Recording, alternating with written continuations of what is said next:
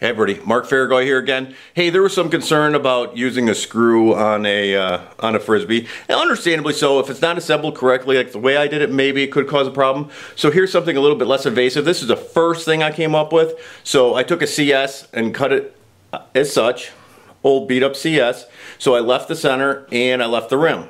Okay, so what that does is when you partner that up with a fastback, it fits nice and neat inside of here and just snaps in.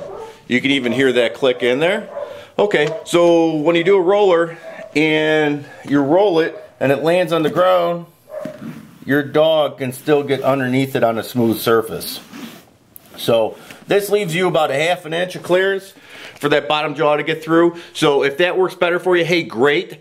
And uh, have a great day. I hope that helps somebody.